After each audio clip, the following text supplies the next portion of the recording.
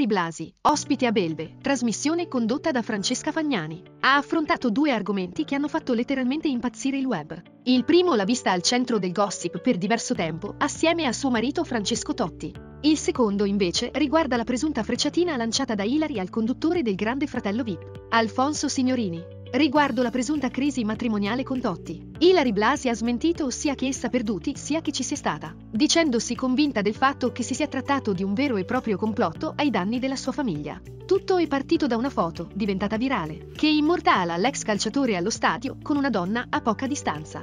Chi avrebbe ordito un complotto contro Ilari Blasi e Francesco Totti? Sinceramente, non ho pensato a Fabrizio Corona, anche perché mi sembra sia partita da altri giornali. Ha esordito la Blasi, ribadendo: Ho pensato solo che fosse un complotto, ad un'organizzazione, ma onestamente non ho un'idea di chi ho.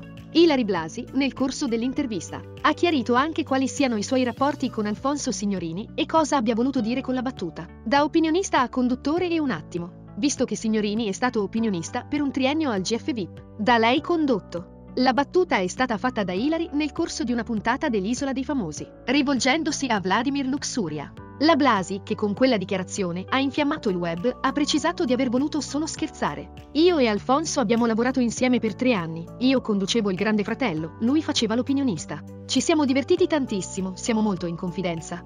Non andrei mai a casa sua a dire, devi sparire, l'ho fatto perché ho confidenza, è un gioco, ha dichiarato Hilary Blasi. Quando ho detto quella cosa è stata vista in maniera negativa, ma in realtà era positiva. Ho fatto un complimento a Vladimir come per dire, non si sa mai nella vita, ha precisato la Blasi, chiarendo di essere in buoni rapporti con signorini. La moglie di Totti ha posto fine, così, alle voci relative ad una presunta rivalità con il direttore di chi è da quelle, ancora più insistenti, su una presunta crisi coniugale.